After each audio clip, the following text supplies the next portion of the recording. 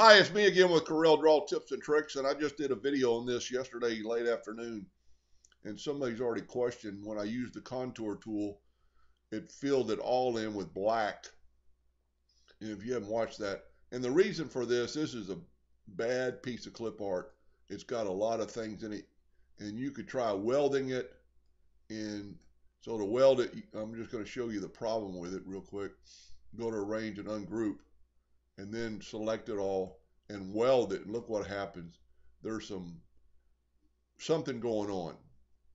So the contour tool won't work in that aspect.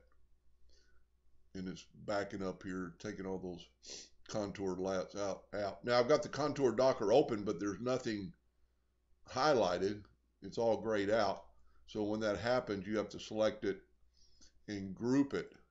And the reason it turned all black I turned it red today because you can actually see it better on the video. I'm going to contour at 0.01 and hit apply. It's got some interior parts. It doesn't contour the whole thing. So the reason I went to 0.05 is it would contour the whole thing. Now let's go and break contour apart. And then when you click on the red, you can, I need to set my nudge distance to two inches when you click on the red and move it over, then you can left click, right click, and you have that outline of the item. Now let's back up here a little bit. Whoop. Let's back up here a little bit. And see how smooth the edges are right now? Here's a little trick. Right here, you can have rounded corners or square corners. Let's do with mitered corners and you get a more jagged edge here. So look at that one versus this one with rounded corners. That edge is smooth. Now, with that said, we're a little bit off here. It's a little closer, but that's not a problem. Just go to range, break contour apart,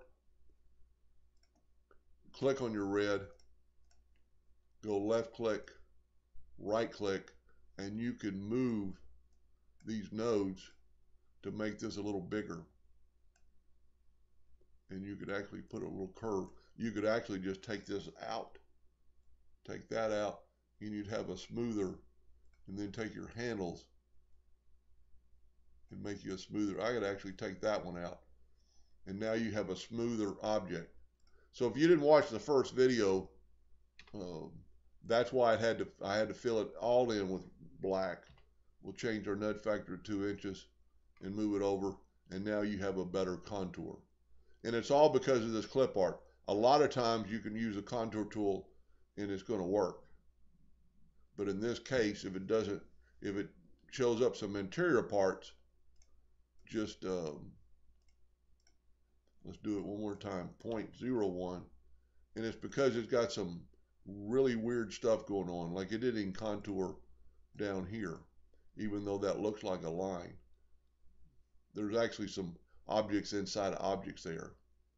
Anyway, hope that helped a little bit. Thank you for watching.